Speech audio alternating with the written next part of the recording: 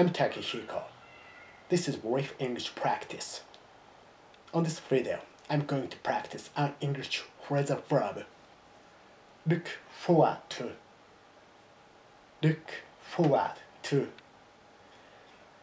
Okay, as usual, I'll give it a try. Let's get started. Example 1. I'm really looking forward to speaking English fluently in the future. I'm definitely sure you can do it if you continue learning and practicing every day. Okay, next. Example 2. You are off tomorrow, huh? Yeah, I'm looking forward to tomorrow. Anyway, that is for this video. How was my English? Thank you for watching and join me. Until next time, bye bye.